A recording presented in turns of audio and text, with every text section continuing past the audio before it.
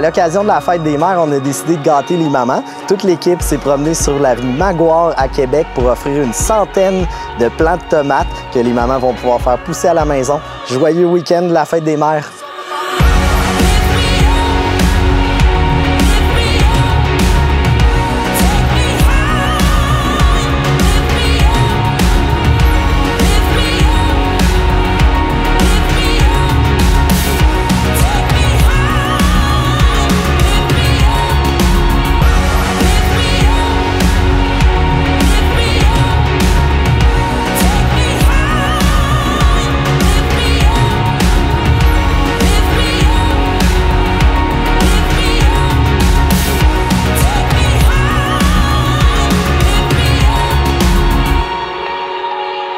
Bonne fête des mères!